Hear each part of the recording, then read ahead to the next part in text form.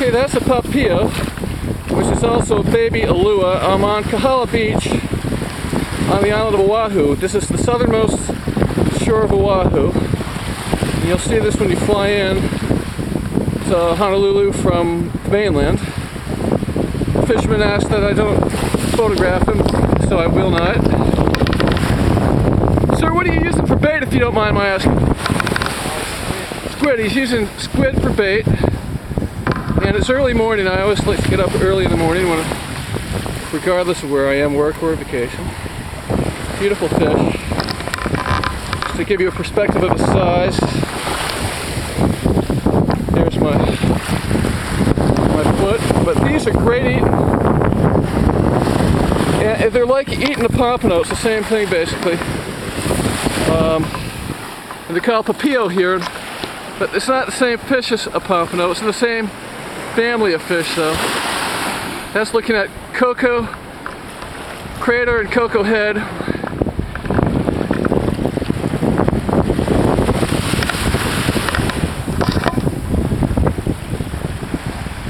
This is looking down Kahala Beach.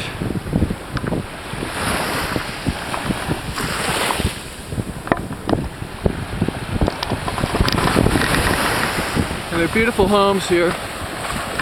These aren't ex exclusive of some of the homes, but they're beautiful.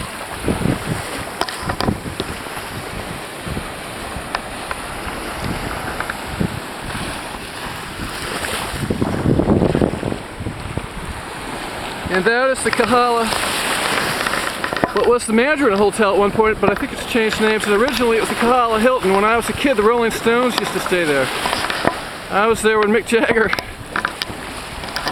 was there, and the, a lot of celebrities stay at this hotel. It's wonderful. One last view of this beautiful pond up here.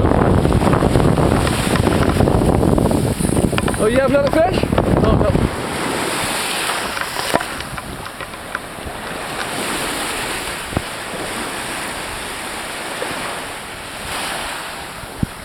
Thank you for letting me take the video of your fish. Appreciate it.